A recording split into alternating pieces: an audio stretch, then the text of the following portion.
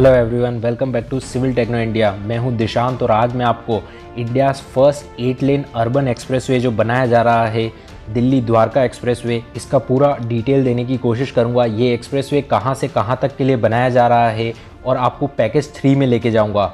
इसे चार पैकेजेस में डिवाइड किया गया है, जिसमें हम पैकेज थ्री में जाएँगे। यहाँ कितनी प्रोग्रेस हो चुकी है, उसे बताने की कोशिश करूँगा। चलिए सबसे पहले इस प्रोजेक्ट का ओवरव्यू देख लेते हैं। ये एक्सप्रेस वे भी भारतमाला परियोजना का हिस्सा है और इसे National Highway Authority of India N द्वारा बनाया जा रहा है। द्वारका एक्सप्रेस की टोटल लेंथ अप्रॉक्स 29 किलोमीटर है, जिसमें 10.1 किलोमीटर दिल्ली में और 18.9 किलोमीटर हरियाणा में बनाया जा रहा है।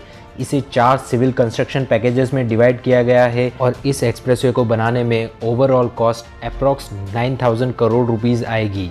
और सभी चार पैकेजेस ईपीसी मोड में किए जा रहे हैं। पैकेज वन दिल्ली के महिपालपुरा शिव मूर्ति से स्टार्ट होकर बिजवासन आरयूबी 5.3 किलोमीटर का ये पैकेज 1349 करोड़ रुपीस में बनाया जा रहा है। पैकेज टू आरयूबी से स्टार्ट होकर दिल्ली हरियाणा बॉर्डर तक बनाया जाएगा।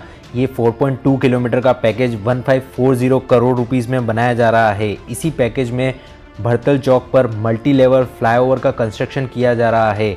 आप यहाँ पर देख सकते हैं किस तरह से भरतल चौक पर मल्टी लेवल फ्लाईओवर का कंस्ट्रक्शन जारी है। और यहीं पर आगे India International Conventional and Expo Centre आ रहा है, जिसे द्वारका एक्सप्रेसवे से कनेक्ट किया जाएगा। कन्वेंशनल सेंटर के कंस्ट्रक्शन का काम भी यहाँ पर जारी है। इस ग्राफिक के थ्रू आप समझ सकते हैं कि किस तरह से कनेक्टिविटी को बनाने के लिए यहाँ पर इंडिया इंटरनेशनल कन्वेंशनल सेंटर के साथ द्वारका एक्सप्रेसवे को कनेक्ट किया जाएगा और साथ ही साथ यहाँ से एक route Indira Gandhi International Airport को भी इस एक्सप्रेसवे से कनेक्ट किया जाएगा, जिससे कम्यूटर्स बिना किसी कंजेशन के एयरपोर्ट तक पहुँच पाएँगे। चलिए अब मैं आपको लेके आया हूँ पैकेज थ्री पर। Package three Delhi Haryana border से स्टार्ट होकर बसई आरोबी तक जाएगा। इसकी टोटल लेंथ 10.2 किलोमीटर है, जिसमें से 8.5 किलोमीटर का सेक्शन एलिवेटेड होगा।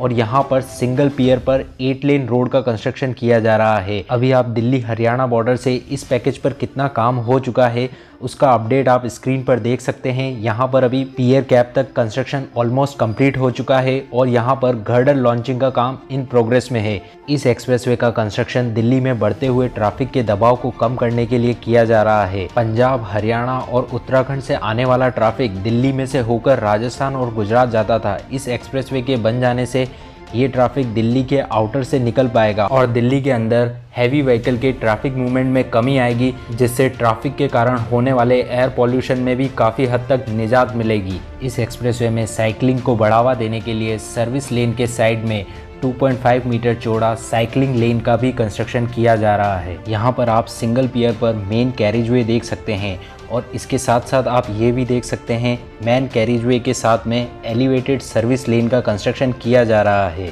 ये एक्सप्रेसवे गुरुग्राम के सेक्टर 102 से लेकर 113 को क्रॉस कर रहा है।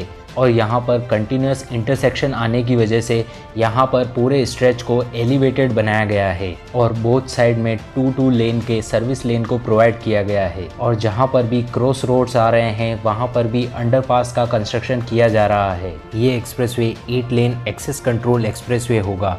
इसी के तहत दिल्ली बॉर्डर पर 34 लेन के टोल प्लाजा का कंस्ट्रक्शन किया जा रहा है और टोल कलेक्शन के लिए इलेक्ट्रॉनिक बेस सिस्टम का यूज़ किया जाएगा। पैकेज थ्री का approx 60 percent physical progress complete हो चुकी है और इस टोटल प्रोजेक्ट की कंप्लीशन डेट अगस्त 2022 रखी गई थी। लैंड एक्विजिशन और कोविड जैसी समस्याओं के कारण काम में देरी आई है। अब यहाँ पर लैंड एक्विजिशन का काम कंप्लीट कर लिया गया है और काम को फिर से तेज़ी से किया जा रहा है। पैकेज फोर में बसई आरओबी के एक्सपांशन का काम और आईएमटी मानेसर और सेक्टर 84 और 88 के लिए ट्रम्पेट इंटरचेंज का कंस्ट्रक्शन किया जा रहा है। और इस एक्सप्रेसवे का जहाँ पर एंड पॉइंट है, खेड़की धोला टोल प्लाजा, वहाँ पर एक क्लोवर लीफ इंटरचेंज का कंस्ट्रक्शन किया जा रहा है। द्वारका एक्सप्रेसवे को टनल के थ्रू आईजीआई एयरपोर्ट से कनेक्ट करने का प्रावधान है, जिसका कार्य पैकेज फाइव के तहत किया जाएगा। आई होप आपको वीडियो में प्रोवाइडेड इन्फॉर्मेशन पसंद आई होगी। अगर वीडियो पसंद आई है तो वीडियो को लाइक करें, अपने दोस्तों के साथ शेयर करें और हमारे चैनल पर नए हैं तो चैनल को सब्सक्राइब कर लें। Thank you so much for watching the video